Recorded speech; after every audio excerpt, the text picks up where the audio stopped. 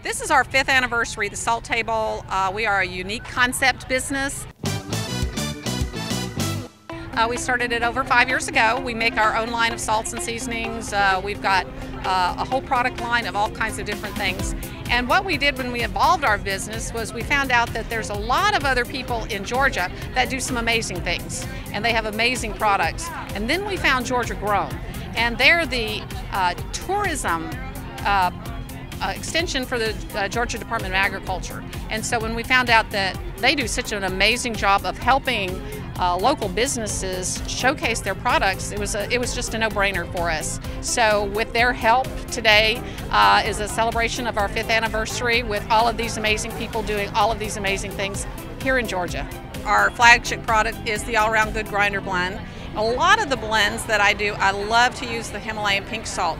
It's a fabulous salt. It's um, the pink color comes from minerals, so you get more than just salt. You get things that are good for your body. It's about the purest salt that there is, and it does such a great job of enhancing the flavor of food. So it makes a difference in the blend. I mean, I talk about salts. Salts, like everything else, they get their attributes from their environment. So different salts from different parts of, of the world taste differently.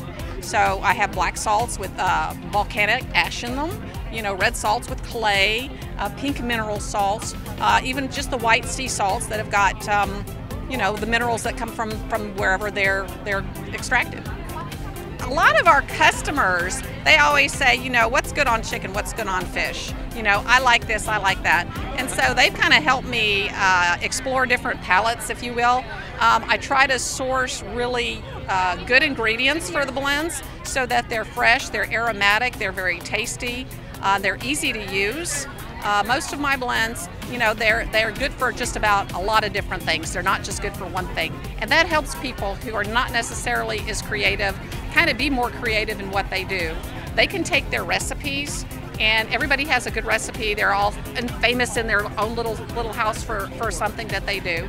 And just with one of our blends can make it that much better.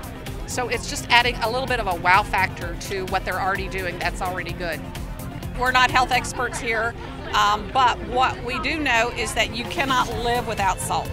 You have to have salt to live. Uh, you have to have water to live. Two, two, two essential ingredients. You know, you won't last very long without either one. So um, our deal is you might as well have good salts. You know, if you're going to put some salt into your body, don't put processed salt. Don't put salt that's been treated with aluminum so that it just pours and it doesn't stick. You know, use the natural salts, use the sea salts, use the mineral salts. Uh, put the good salts in your body that your body needs. You'll end up using less salt, and you'll use it better for, for what your body needs it to help regulate the functions and also do what's essential when we want to eat good food is, is enhance the flavor of what we're cooking. Well, sometimes five years goes by in the blink of an eye.